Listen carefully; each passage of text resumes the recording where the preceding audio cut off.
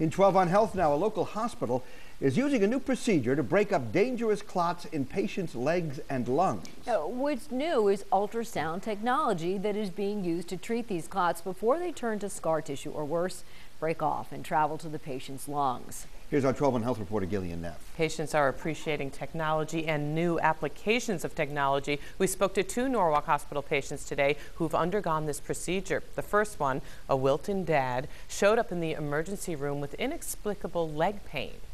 I'm not making the window here. They asked me about it. Does your leg still hurt, Daddy?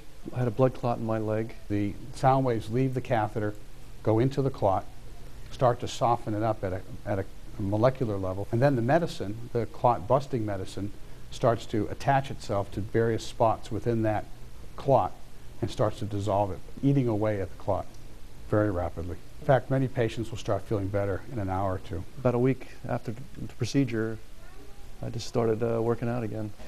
Stay at home dad Thomas Zick has a compression garment on his leg to reduce the swelling. Zick says he's relieved that the ultrasound assisted thrombolysis procedure worked and he can now get back to his active life. Without treatment, Norwalk Hospital's Dr. Paul Gagne says a blood clot in the leg can break off and travel through the bloodstream to the lungs. Now, another patient, Kathleen Deneen, already had clots in her lungs when she got the scare of her life.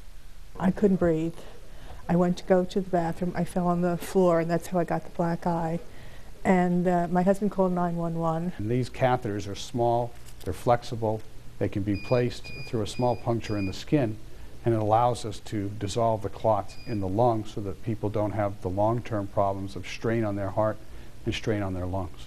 And Dr. Gagne says because this treatment is so targeted, they use less clot busting medication, and therefore the patient's risk of bleeding internally is greatly reduced. To learn more about this, just go to our website, news12.com. They have other procedures, but he says for certain cases, this really is the gold standard mm. for him. Mm, how helpful that is. Thank you.